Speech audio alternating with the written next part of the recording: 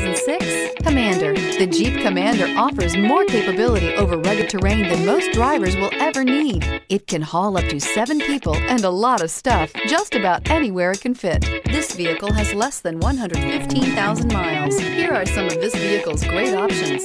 Four-wheel drive, tire pressure monitor, heated mirrors, aluminum wheels, brake assist, traction control, stability control, engine immobilizer, tires, rear all-terrain, privacy glass.